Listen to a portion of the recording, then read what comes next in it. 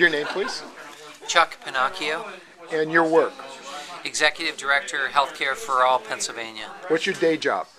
I'm a professor at University of the Arts. I teach history Where is that? in Center City, Philadelphia. Okay. And so you're pushing for single payer here in Pennsylvania. There's That's correct. legislation.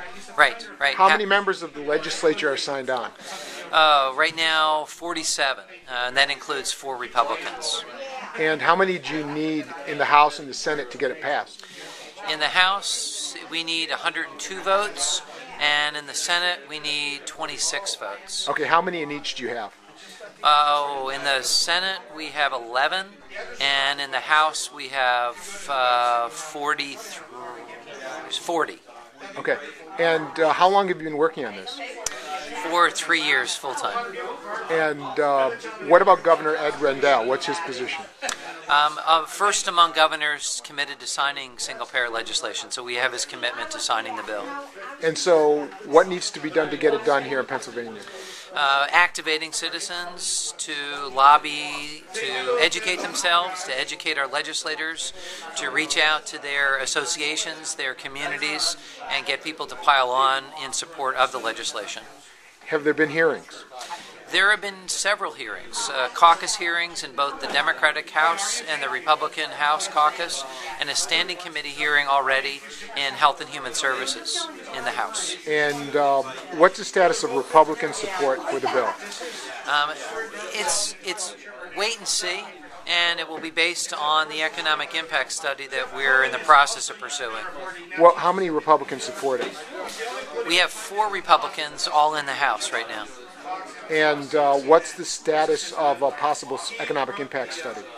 Uh, it's looking very positive going forward as we collaborate with state work in Maryland, uh, in California. Maryland, California, Pennsylvania are coming together, and we're pooling resources to get the study done. It's looking very promising. What do you think of such a study would show? It would demonstrate the dramatic administrative savings, the dramatic prescription drug savings, uh, the dramatic uh, savings with regard to defensive medicine, curtailing defensive medicine. Um, it would demonstrate the jobs creation.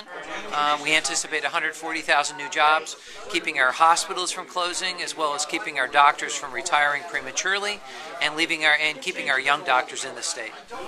So, um, California passed single payer twice, but it was vetoed twice by the Terminator governor. Right.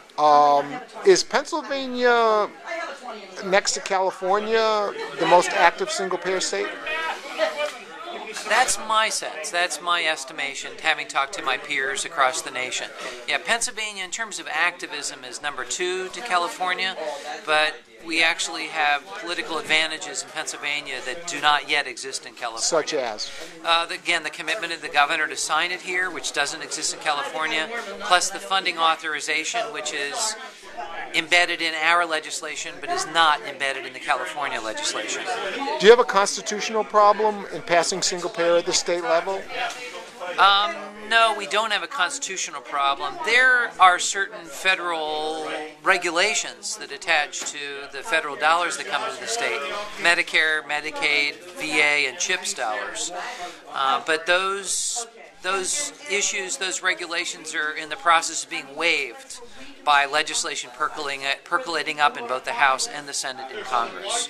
So we don't anticipate any problems constitutionally. You're holding a rally tomorrow in the state capitol in Harrisburg On Tuesday. on Tuesday, and what's the point? Uh, the point is to demonstrate that people from all walks of life are eager to get this done because we are literally hemorrhaging uh, economically. Uh, we're suffering unnecessarily. Uh, we're being driven into bankruptcy. Um, our hospitals are closing. We're losing our doctors. We need to save all of those things. We need to save Pennsylvania, but also we want Pennsylvania to serve as a model for the nation. So that's really what's at stake. And citizens um, from Pennsylvania and the region are going to pile onto Harrisburg. We anticipate at least a thousand people. Will um, will Pennsylvania be the first state in the union to have single payer? Yes, once our bill passes, we in fact will be the first to have single payer. When will it pass? It's like anything else. It's difficult to predict in politics, but our goal is to get it passed this fall and to have the bill passed out of the House and Senate and have a conference bill passed by the House and Senate and get it to the governor for signature by November 19th of this year. That's our goal. And uh, if people want more information, what's the website? www.healthcare numeral 4 allpa.org. Healthcare numeral 4 all allpa.org. And if people outside of Pennsylvania wanted to help you, what should they do? Um, they should contact us through the website. Um, they can call me directly. I'm open to sharing my phone number 215 828 5055. Uh, we need help raising funds to get the economic impact study done, and uh, we need resource support beyond that.